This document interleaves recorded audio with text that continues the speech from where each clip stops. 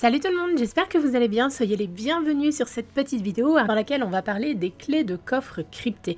Vous êtes quelques-uns à m'avoir demandé à quoi ces clés pouvaient bien servir, et eh bien je vais vous en donner la réponse, son utilité et comment les obtenir.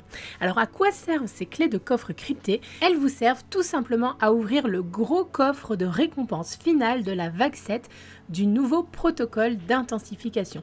Donc ce nouveau mode qu'on peut trouver en patrouille en exploration sur Mars qui vous permettra à chaque fois que vous terrasserez le boss final de la vague 7 d'obtenir des loots exclusifs du nouveau DLC tels que des armes et des armures de Rasputin. Alors maintenant, comment obtenir ces clés? Eh bien, vous allez voir, c'est assez simple.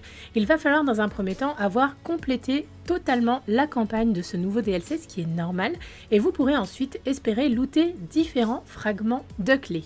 Il va falloir donc en récupérer plusieurs jusqu'au nombre de 7 afin de reconstituer une seule et unique clé qui sera de qualité rare.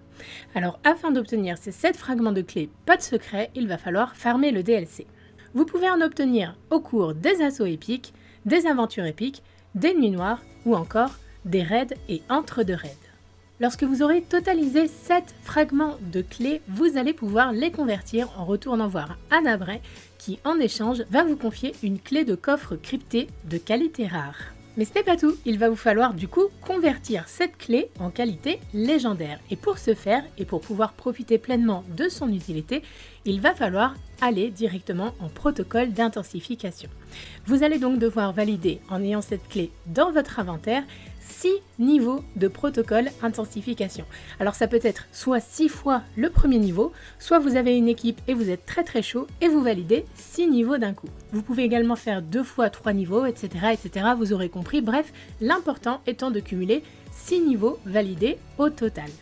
Une fois que ceci sera effectué, la clé va automatiquement être convertie en clé de coffre décryptée légendaire et vous allez pouvoir profiter pleinement de son utilisation. Alors comment faire? Eh bien tout simplement, il va falloir relancer un mode protocole intensification et le terminer complètement cette fois-ci. Il va donc falloir atteindre le niveau 7 et le terminer en terrassant le boss de la semaine en question. Alors cette semaine, le boss est un très gros ogre qui possède un bouclier que vous ne pourrez enlever que lorsque vous éliminez tous les petits mobs qui se trouvent autour de lui. Ceci bien sûr dans un temps imparti, sinon ça ne serait pas drôle.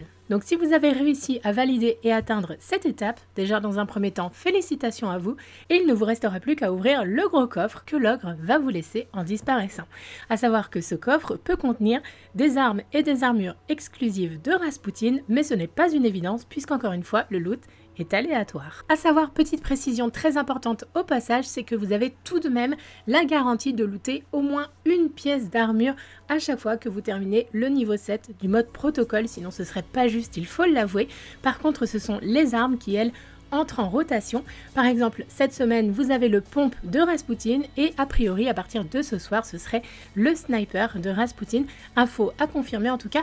Voilà, les armes vont changer chaque semaine et vous pourrez à chaque fois looter tout de même une pièce d'armure à chaque fois que vous allez terminer ce mode protocole. Pour tous ceux qui galèrent un petit peu sur le mode protocole intensification, et c'est tout à fait normal puisque le boss du niveau 7 par exemple est au niveau 400 de lumière, sachant que vos personnages ne peuvent actuellement monter que jusqu'au niveau 385 et rares sont ceux qui ont d'ores et déjà atteint ne serait-ce que le niveau 370, il faut l'avouer.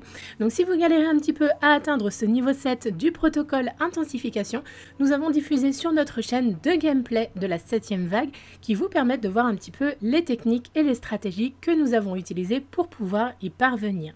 Si vous avez des questions, des interrogations, n'hésitez pas à l'espace commentaire comme toujours est fait pour ça. Et quant à moi, je vous retrouve très rapidement pour plein d'autres tutos sur Destiny. Prenez soin de vous. Ciao tout le monde